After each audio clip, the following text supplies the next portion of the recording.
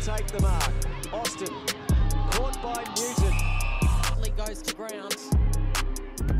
Oh, this is dangerous. Her first one, the 20 year old top draft pick.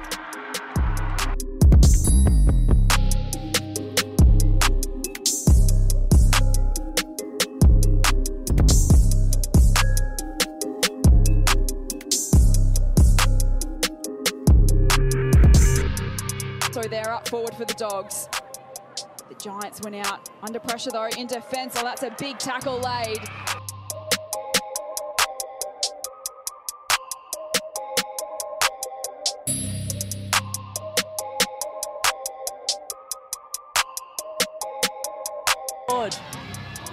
Axman gets it back off looking for Mac and Newton in her pocket.